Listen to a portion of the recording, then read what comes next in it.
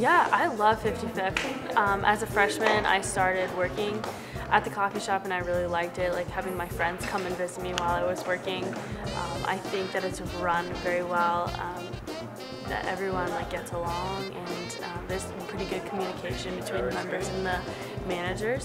So I, I think it's an awesome place to come hang out and get coffee and uh, do homework and stuff. Having a coffee shop on campus is really nice for business. Like it does give us more business that like students who don't have a vehicle, like they won't go off um, to grab a cup of coffee. But also being on campus, like some students take it for granted, so then like they just make coffee in their room or something instead of getting it from the shops. Um, but I I don't know any different, so I couldn't really compare it to like being off campus.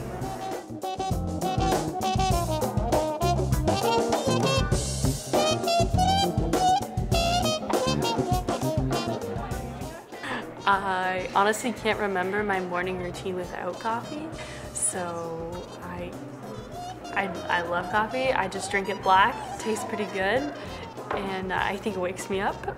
We have breakfast burritos and muffins and cookies, and then the cinnamon rolls, and we do tea, coffee, hot chocolate, smoothies, and then like all the drinks in the cooler too. So like your orange juice and your pop and, and Starbucks Frappuccinos.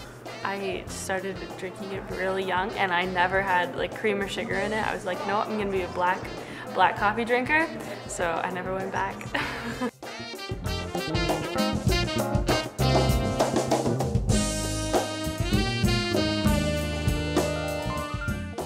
So we used to have Folgers coffee, but this year we switched to Cafe Bustelo. So we just wanted to change like our branding of the coffee shop a little bit, make it more hip and cool and relatable to college students.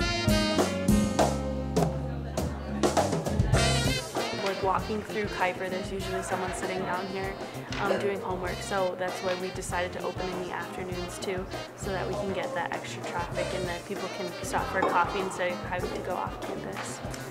I would probably have it be open more often.